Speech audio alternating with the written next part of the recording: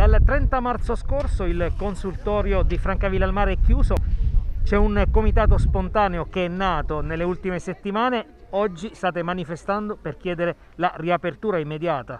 In realtà prime, eh, i primi incontri risalgono al 20 di luglio, poi ci siamo visti a ottobre, abbiamo ricevuto diverse promesse da Thomas eh, Schell che il, il consultore avrebbe riaperto a settembre e così non è stato, poi a dicembre non è stato, adesso l'assessore Verì dice che riaprirà a metà febbraio. Noi siamo qui e non eh, possiamo arretrare. Avere un consultore a Francavilla vuol dire avere un'assistenza psicologica accessibile, avere un'assistenza ginecologica, avere il pediatra, fare screening per il tumore al collo dell'utero, il, eh, il PAP test.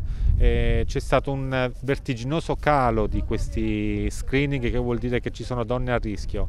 Ehm, ci tengo a precisare una cosa, non riguarda solo Francavilla, riguarda tutti i paesi limitrofi che si servivano del consultorio di Francavilla e che adesso non c'è più.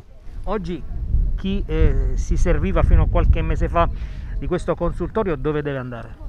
Adesso deve andare a Chieti, in un periodo in cui ci chiedono o di restare dentro casa o di non uscire dal nostro comune, eh, si, creano, si rischia di creare assembramenti in quelli che sono eh, insomma, gli uffici di, di, Chieti e anche di contrarre il Covid. Noi questo non, non ce lo possiamo permettere.